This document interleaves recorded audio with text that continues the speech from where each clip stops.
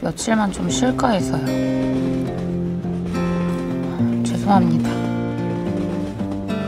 이번 역은 우리 열차의 마지막 역인 춘천 한림대 역입니다.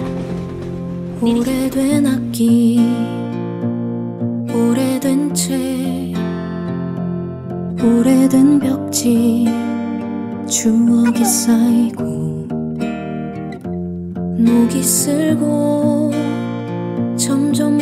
부서지고 새로운 것들에 밀려나고 나도 그런가 보다 나도 그런가 보다 야, 너는 역사 박물관이 뭐가 그렇게 좋냐? 아, 나 진짜 재미없던데.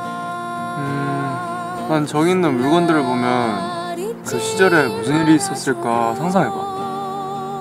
아니 대단하지 않아? 그 당시 사람들의 추억이 아, 지금까지 그래, 이렇게 진짜 재미없어. 아, 누가 노잼 아니랄까 봐. 날 찾아와 지금도 날 기다릴까? 잊지 않도록 부둥켜 안고서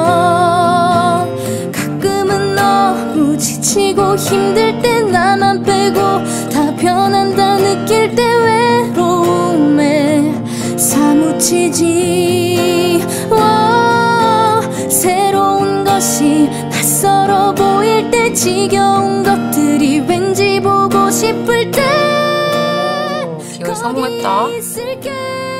좀 멋있는데? 저기 나 할 말이 있는데. 난 처음부터 변한 적이 없어. 앞으로도 그럴 거야. 날 찾아와요 서로의 온기를 나눠 안고서